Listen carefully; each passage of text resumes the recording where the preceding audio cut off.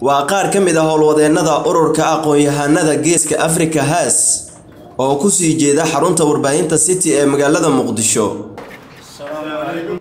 Waxa ay salaan guddoon iyo soo dhoweyn hufan ay ka heleen madaxa warbaahinta city cabdishakuur shaashaa oo ku sugnaa xafiiska.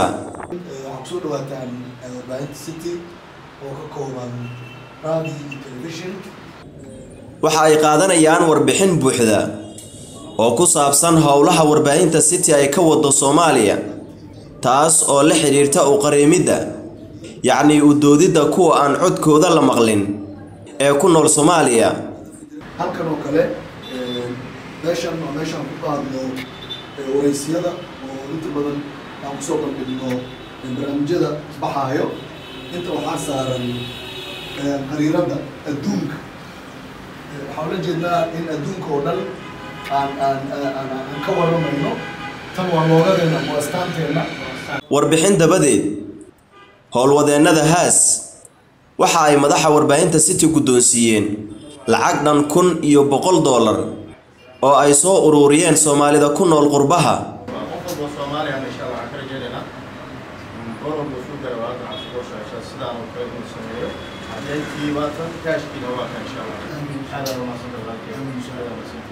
way soo gaartay kun waxaan hayaa boqol iyo konton dollar dhammaysantii waxa ay ku dhiirigelinayaan shaashaa in uu sii wado dadaalada uu ugu jiro simidda soomaalida iyo u qariimidda bulshada aan codkooda la maqlin.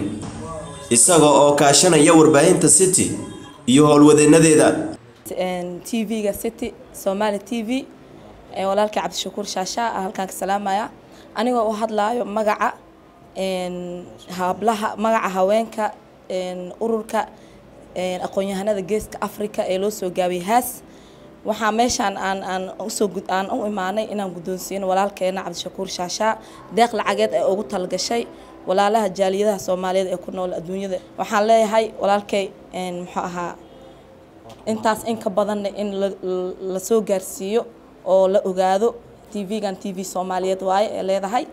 Halkan aan ku sugannahay waa idaacadda iyo t v-ga city media group ama city somali t v. Saa u taqaaniin waa t v ka howlgala dalka soomaaliyeed sida uu warbixinta noogu sheegay milkiilaha ama ownerska master shaashaa waxaan ka arkaynaa city t v inay yacnii horumartay tallaabsatay goob walbana laga heli karo.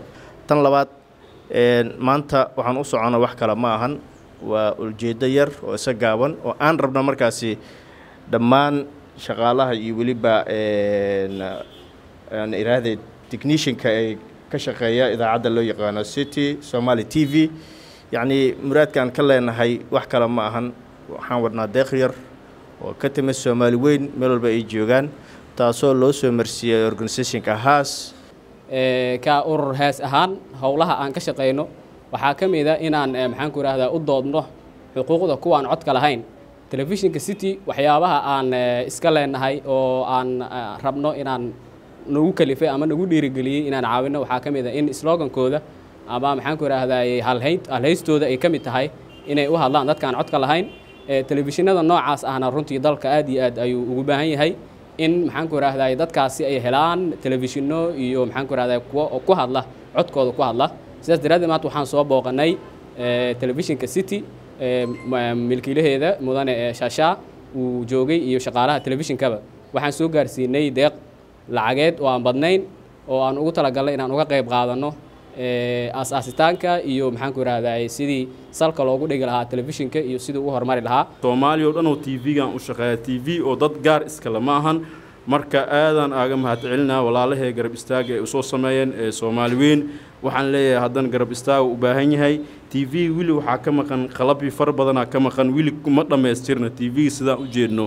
Waxyaabo badanaa ka maqan waxyaabo badanaa ka maqan intaasoo kun door ay ku kacayso. Marka t v-ga ma dhammaystirna weli waxaa loo baahan yahay in la soo garab istaago weli waxaa loo baahan yahay t v-gan aqabkii dhammaystiran in la aqabtiro far keligeeda fool ma dhaqdo sidoo kale waxaan baaq u dirayaa xildhibaanada annaga aan ka soo jeedno oo annagana matalaan waxaan ka cudsanayaa cabdishakuur shaashaa inay garab istaag buuxda ay u sameeyaan. Markaan iscilqaamnay si aan baahidiisa aga jawaabno waxaan isku daynay in aan ka qayb qaadano gargaarkaas. Dad badan oo walaalaheena oo dalka iyo dibadda ku nool ayay waxay go'aansadeen inay deeq lacageed u sameeyaan. Lacagahaas anigoo ah treshiyarkii oo has organisation way isoo gaartay aniga iyo xibno naga mid ah oo qofkii iga horeeyey uu yahay xogeeyaha guud ee haas iyo walaalahayga garbahayga taagan. Waxaan garwaxsanay maanta ee taariikhda tahay saddexdii bishii julaay inaan walaalkeena soo gaarno deeqdiina aan guddoonsiino. Waxaan rabaa walaalkeyga cabdishakuur shaashaac oo dhallinyaro ah u baahan in la caawiyo inaan baaq u sameeyo haddii aan kursigaa sanatarnimo ku guulaysto aniga iyo saaxiibaday waxaan ku soo booqan doonaa xafiiskiisa. Waxaan guddoonsiin doonaa lacag saddex kun oo dollar oo dollarka maraykanka ah. Haddii ilaahay oo ii aqbalo guushaas waa ballan aan maanta qaaday oo aan ku dhiirigelinayo.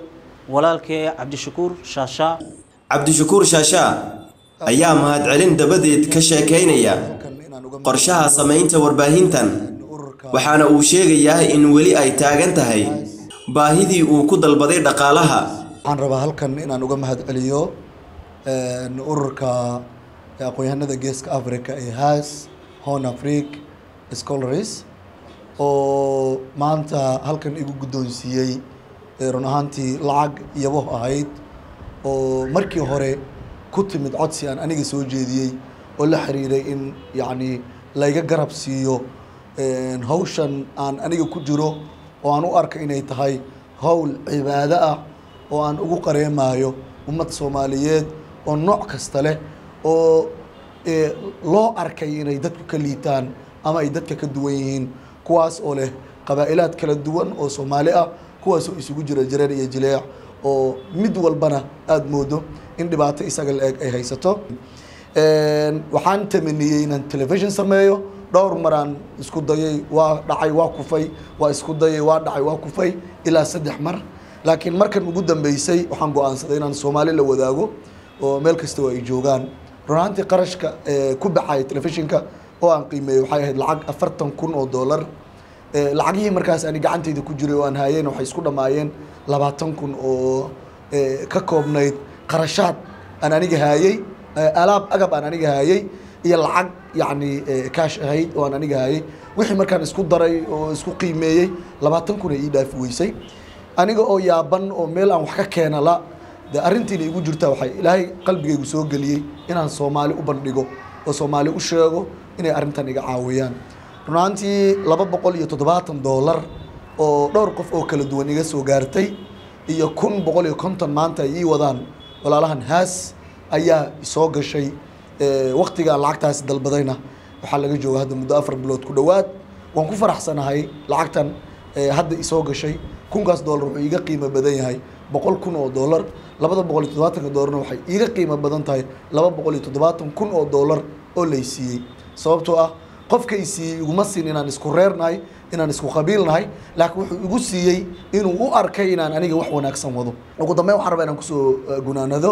Aniga weli lacagtii aan dalbaday waa u baahanahay afartan kun oo labaatan kun laga haayey haddana kun iyo afar boqol isku celcelis ay soo xarootay waxa ka dhiman waa garan kartaan dhowaan ayay ahayd markii madaxa warbaahinta city cabdishakuur shaashaa uu ka dalbaday bulshada soomaaliyeed inay ka garab siiyaan samaynta warbaahin ku hadasha codka kuwa aan codkooda la maqlin. Cumar guux warbaahinta city